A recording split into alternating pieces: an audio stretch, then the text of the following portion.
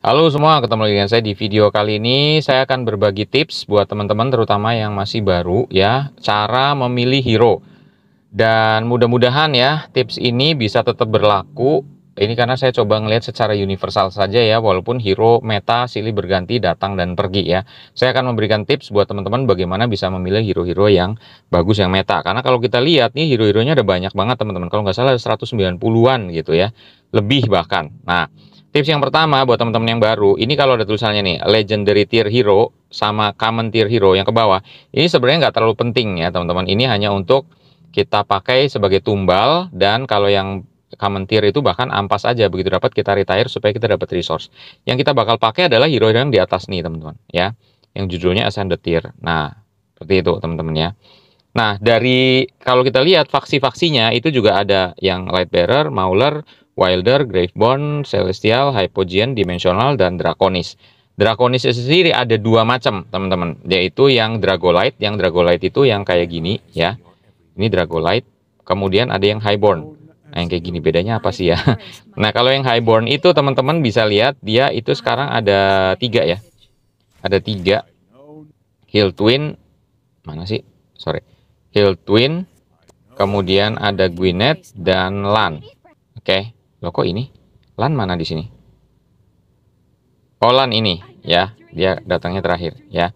Cara bedainnya gimana agak susah memang kalau teman-teman mau tahu ini dia yang Dragolite atau yang Highborn itu kopian pertama yang teman dapat teman-teman dapat apa? Kalau legendary kuning ya berarti dia adalah highborn. Tapi kalau dia ungu berarti dia yang dragolite.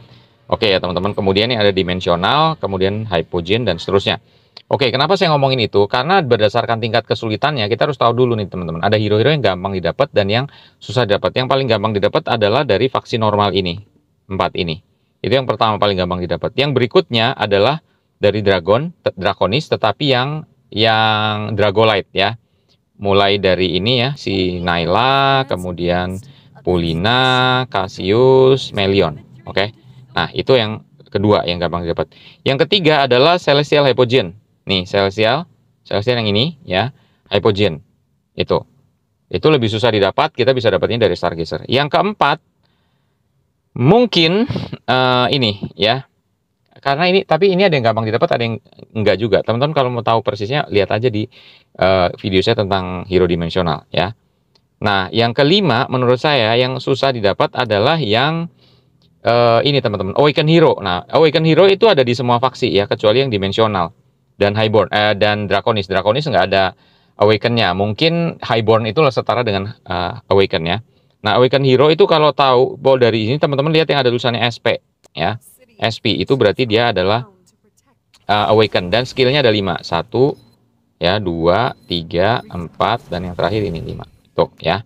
Nah di sini tuh teman-teman biasa ada SP SP ya. Ini ada SP ya. Itu berarti dia adalah awaken. Oke? okay? Sekarang ini ada udah berapa ini ya? 1 2 3 4 5 6 6 kali 3 ya 18 mungkin sekitar 18an ya. Uh, belum sampai 18 sih awaken hero. Nah yang terakhir yang paling susah adalah yang highborn. Itu karena dia hanya bisa didapat di Dragon Island itu kemudian hanya bisa pakai Draconis Insignia atau Draconis Scroll itu juga uh, random ya.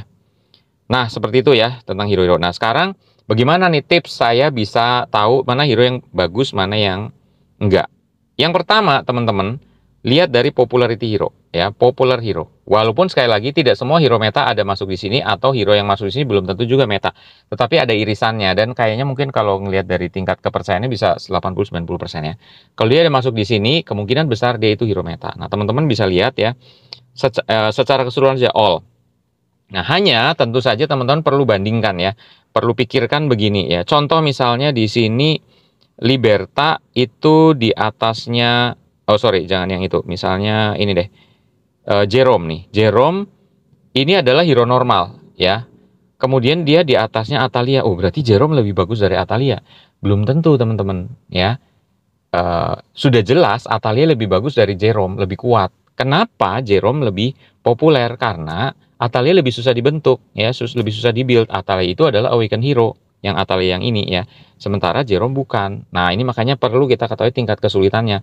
Makin sulit hero itu didapat, makin sedikit orang yang punya, makin makin sedikit juga popularitasnya tentu saja. Ya, seperti itu teman-teman ya. Oke, nah untuk teman-teman yang masih baru, uh, nanti yang bisa dimasukin di wishlist ya kalau teman-teman pergi ke apa namanya? Sorry. Nah di sini ya di Noble Tavern, ini ada wishlist di Noble Tavern ya, ada wishlist. Yang bisa dimasukin di wishlist hanya ada hero-hero yang normal faction saja gitu ya, yang lainnya tidak bisa. Nah jadi balik lagi ke sana, uh, kita lihat ya dari populer hero ini, misalnya ya, di sini yang hero normal nih Jerome, Palmer, Ivan itu semua meta ya kemudian Tamrus Tamrus nggak terlalu sebenarnya tetapi lumayan oke okay juga kalau dibandingkan uh, hero-hero Wilder yang lain ya Ateus itu juga meta. Naroko meta ya. Terus Rosalin juga meta. Villanel meta. Ya Adrian dan Elis nggak terlalu tetapi kalau dibandingkan dengan hero-hero apa ya memang masih oke okay, gitu ya. Kemudian Grezul Lady Simona, nah Grezul sebenarnya udah mulai drop ya, Odin juga udah mulai drop, Scarlet juga udah mulai drop ya, tetapi masih oke okay dipakai. Nah, teman-teman bisa ngelihat di situ tuh. Yang ngelihat dari sininya dia masuk nggak ada di 50 besar ini nggak. Kalau teman-teman pakai mode campaign, teman-teman bisa lihat ini. Nah, chapternya itu teman-teman bisa lihat di sini ya. Chapter 1 sampai 30. Nah, tentu saja Awaken Hero jarang banget di sini. Kenapa? karena jarang yang punya Awaken Hero gitu ya. Paling kalaupun dia muncul di sini karena ini versi trial mungkin dia pakai untuk ngepush gitu ya teman-teman. Maka ini beda. Nah itu cara ngeliatnya ya 31 sampai 32 nih. Ya ada Brutus dan sebagainya padahal Brutus udah nggak meta lagi nih. Cuman di awal-awal dia memang lumayan bagus gitu ya teman-teman. Nah ini yang untuk end game tuh ini ya. Yang meta sekarang. Tuh ya untuk di campaign. Untuk di tower dan lain-lain. Jadi teman-teman lihat aja hero yang sering muncul di sini maka kemungkinan besar dia itu. Nah kalau teman-teman mau lihat yang faction tahu uh, apa namanya faction hero ya itu lihat aja di tower. Mana tower? King's Tower. Nah terus kalau Graveborn inilah kira-kira inilah top 10 Graveborn gitu teman-teman ya oke tentu saja yang Awaken Hero ini ya kita mau nggak mau dia akan nongol di sana sih ya kemudian untuk uh, apa namanya sel, uh, hypogean ini, celestial ini. Kemudian ini untuk apa? Wilder dan seterusnya ya. Jadi teman-teman bisa ngelihat di situ. Oke. Itu tips yang pertama, lihat dari sini. Yang kedua, bagaimana cara menentukan itu hero meta atau tidak? Teman-teman lihat cari search di Google ya, googling YouTube dan lain-lain atau kalau teman-teman settingannya pakai bahasa Inggris itu ada yang namanya community di sini, teman-teman ya. Nah, teman-teman bisa chat di sini, tanya di sini. Ya, tentu dengan bahasa Inggris ya. Kalau bahasa Indonesia saya nggak tahu bisa atau enggak ya. Tapi situ ada all language ya. Nah, ini teman-teman bisa posting aja di sini tanya. Jangan chat di di sini. Nah, chat ini toxic sih menurut saya ya. Atau paling tidak ngaco lah, nggak nggak terlalu bisa dipercaya ya teman-teman ya di English Channel atau di Indonesia. Saya nggak tahu yang di Indonesia kayak apa ya. Tapi saya nggak terlalu uh, apa percayalah sama chat ini. Jadi mending ke community. Nah, cara yang ketiga, teman-teman, adalah dengan ngelihat hero-nya itu sendiri ya. Pergi ke potret, lihat hero-nya, baca skillnya. Waduh, saya tapi nggak ngerti bang, gimana caranya ya. Ya memang ini cara yang lebih susah ya. Tetapi kalau teman-teman mau tahu, ya boleh juga dilihat nih skillnya, kira-kira dia kayak apa deals damage-nya besar atau tidak. Terus berapa dia uh, powernya, ini teman-teman bisa lihat ya attack ratingnya 52 ini kalau levelnya 240 ya 52.000 ya. Kemudian kalau di sini tulisannya deal 160% damage berarti 160% dari 52.000 ya berarti sekitar mungkin 70 something ya 80 ribuan gitu ya. Dan seterusnya. Itu teman-teman bisa ngitung di situ. Nah terus teman-teman juga bisa lihat lagi dari uh, apakah dia punya crowd control atau buff gitu. Ada nggak skillnya yang bisa ngebuff atau punya crowd control? Karena itu yang berperan juga lumayan penting di samping damage tadi ya. Nah itu cara ngelihat skillnya teman-teman. Terus yang berikutnya lagi yang teman-teman mungkin ada yang tahu ada yang enggak. Ya kalau ada muncul hero baru rilis itu kita bisa ada trialnya teman-teman ya. Nah tapi tahukah teman-teman bahwa selesai trial versi trialnya itu berakhir ya kita tetap bisa melakukan guild trial itu kecuali untuk hero-hero yang udah lama ya. Kalau hero yang baru misalnya Adrian Ellis nih ya. Kita pergi ke arena of trial. Kita masih bisa teman-teman. Ntar ya.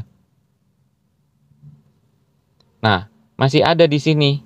Oke walaupun nggak ada rewardnya lagi. Gitu. Kita tetap masih bisa lawan nih hero-hero ini. Bahkan kita masih bisa pakai di guild trialnya. Dan teman-teman bisa nyobain gitu ya ah saya mau pakai formasi ini itu dan seterusnya. Nah, ini bisa nih di sini teman-teman. Ya, teman-teman tetap bisa tes walaupun masa trialnya sudah berakhir. Contoh seperti itu, ya. Oke.